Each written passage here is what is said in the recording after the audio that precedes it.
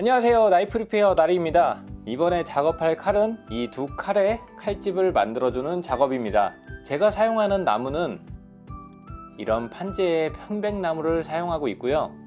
나무의 안을 칼에 맞게 파내고 양쪽 면을 합쳐서 칼집을 만들고 있습니다. 나무가 굉장히 부드럽고 날 보호에 좋은 나무로 이동 시에 칼집으로 사용하기에 적합한 나무입니다. 대신 매우 고급스럽거나 장식용으로 보관하기는 약간은 부족한 칼집이고요. 실사용에 이동용으로 사용하시는 이웃님들을 위한 제품입니다. 제가 이 영상을 남기는 이유는 제가 만드는 칼집의 영상이기도 하지만 이웃님들께서 가정에서도 쉽게 만들 수 있는 방법을 알려드리려고 이렇게 영상을 찍고 있습니다. 집에서 쉽게 만들 수 있는 칼집의 재료는 바로 이런 나무입니다. 나무가 판재형으로 되어 있고 매우 얇습니다. 이런 걸 보통 단판이라고 부르는데요. 이 나무를 구입하는 구입처는 이 아래 내용 자세히에 적어 놓겠습니다. 그리고 이 단판으로 꼭 만드시지 않아도 일반적인 우리가 문구점이나 이런 데서 볼 수 있는 이 정도의 두께의 플라스틱 또는 종이 제품으로도 칼집을 만드실 수 있습니다. 방법은 매우 간단합니다. 이런 판을 세 판을 준비해 주시면 돼요. 그리고 판 중에 하나에 칼과 같은 모양으로 안쪽을 제거해 주시고요. 세 개의 판을 하나로 합치시면 됩니다. 굉장히 쉽죠? 그러면 이 칼의 칼집을 한번 제가 만드는 방법 외에도 이웃님들이 쉽게 만들 수 있게 한번 영상으로 제작해 보겠습니다. 자 그럼 만들러 가볼까요 보통 나무를 구입하시면 이렇게 된 판재로 오게 되는데요. 이 판을 원하시는 크기로 세 판으로 만들어 주시면 됩니다. 저는 이 판과 이 판 두 개를 사용해서 세 판을 만들게요. 그리고 나무를 잘라야 되는데 보통 우리가 가정에서 이런 기계들은 없잖아요. 그래서 나무를 우선 체크를 해준 다음 이렇게. 또 이렇게. 이렇게 체크를 해주신 다음 쉽게 구입하실 수 있는 이런 쇠톱으로 잘라주도록 하겠습니다. 쇠톱을 이용해서 자르는 건 이 톱날이 너무 크게 되면 나무가 막 갈라지거나 떨어져 나갈 수가 있습니다.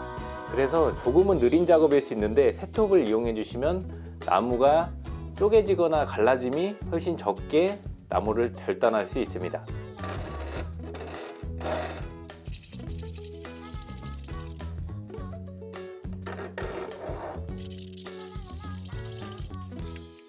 네, 이렇게 지금 세 판, 세 개의 판이 완성됐습니다. 양쪽 사이드에 무늬로 들어가는 나무판은 같은 종류를 사용하는 게 좋기 때문에 이 두 판을 사용하고 가운데 판 모양을 따주는 판은 이런 약간은 다른 판을 사용해서 만들어 줄게요. 그 다음 하실 건 이제 칼의 본을 떠주는 건데 이 칼을 이렇게 하면 지금 핸들 부분이 이곳에 자꾸 닿기 때문에 정확하게 본을 뜨기도 힘들고 이 라인을 다시 만들기도 힘듭니다 그래서 이 핸들 부분을 기역자로 따주면 좋습니다 어떻게 하냐면 이곳 핸들을 그리고 이 위쪽 이렇게 따주시면 됩니다. 지금 대충 그렸는데 어, 되도록이면 칼에 맞게 기역자로 따주시는 게 좋고 정확하게 기역자로 따셔도 되지만 칼에 맞게 따시는 게 나중에 결합했을 때 조금은 더 칼에 맞는 칼집이 만들어집니다 약간은 더 보정해서 깔끔하게 기역자로 만들었어요. 이 부분도 아까처럼 톱으로 제거를 해주시면 됩니다.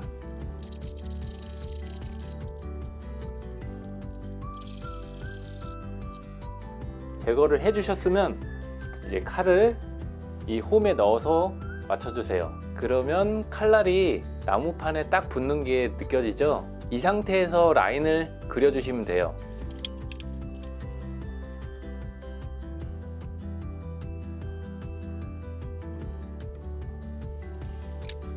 라인을 그려주시면 됩니다. 그리고 이 끝에 빠져나오는 부분은 끝까지 일자로 일자로 펴주시면 돼요. 어렵지 않죠? 그리고 이제 이 안을 그대로 톱으로 썰어서 파주실 건데요. 그 전에 해야 될 게 있습니다. 이전 나무판에 이 부분을 한 번만 더 체크를 해주세요. 이건 나중에 이 가운데 판이 안으로 들어가게 되면 어느 정도 선에서 이 기역자가 만들어졌는지 보기 위한 체크입니다. 그리고 안쪽을 다시 톱으로 썰어주는 거예요.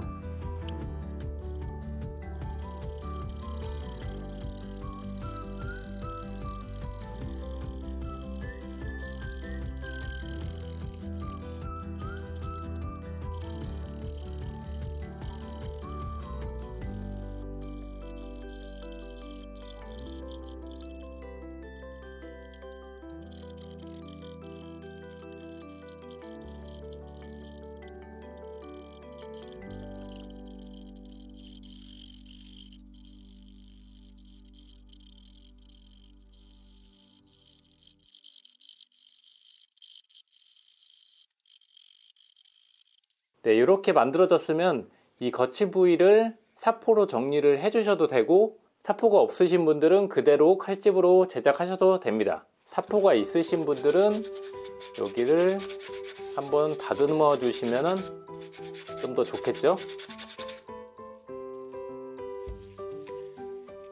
네, 칼이 이렇게 들어갈 거예요.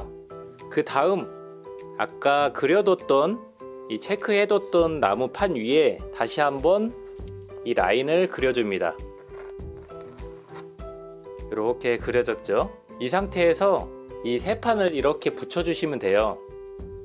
붙이시는 거는 나무는 목공 본드를 이용하시면 되고 어, 종이나 아니면 플라스틱은 그거에 맞는 본드를 구입하셔서 붙여주시면 됩니다.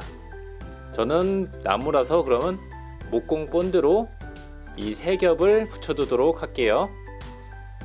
네, 목공 본드를 목공 본드를 발라주시고 반대편도 반대편도 목공 본드를 이렇게 발라주세요. 그리고 실제 칼집이 만들어지는 부분은 요 칼 모양과 근접한 부분이기 때문에 목공 본드를 칼 모양 근처로 잘 발라주시는 겁니다.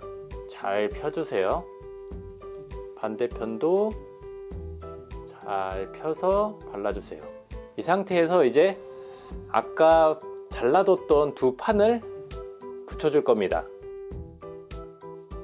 반대쪽 판도 빨래집게가 있다면 이 사이사이를 물어줘도 되고 빨래집게가 없으신 분들은 이 상태에서 무거운 걸로 위에서 아래로 눌러 놓으셔도 괜찮습니다. 그럼 본드가 굳고 다음 작업으로 진행할게요.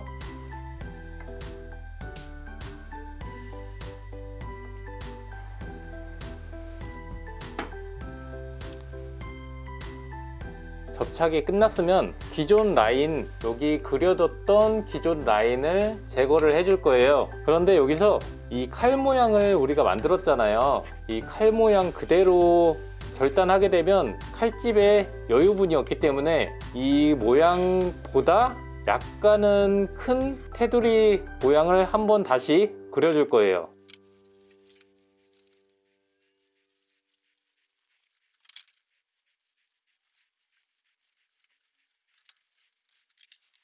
네, 이렇게 지금 모양을 다시 그려줬으면 이제는 이 라인과 겉에 있는 라인, 이 라인들을 모두 제거를 해줄게요.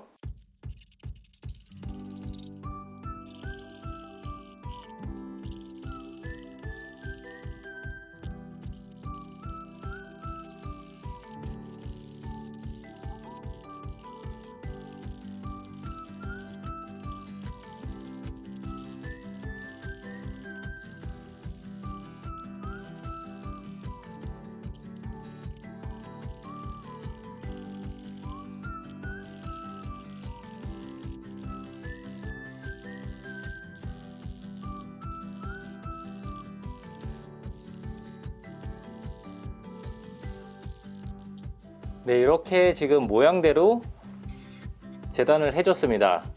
사실 이 상태까지가 칼집 완성의 끝이라고도 볼 수 있고요. 이 이유는 사포를 이용해서 거친 면을 약간 다듬어 주고 그리고 칼을 고정하기 위해서 핀을 넣는 경우가 있습니다.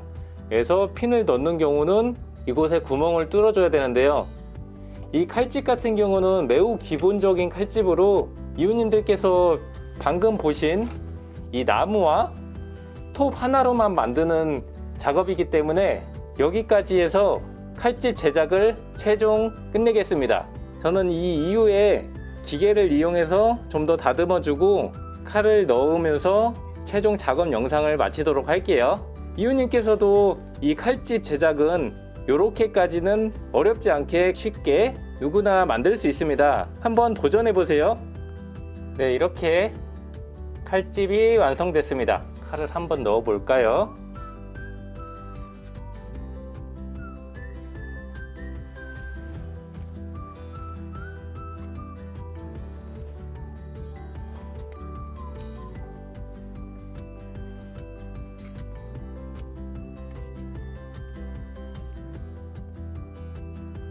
괜찮죠?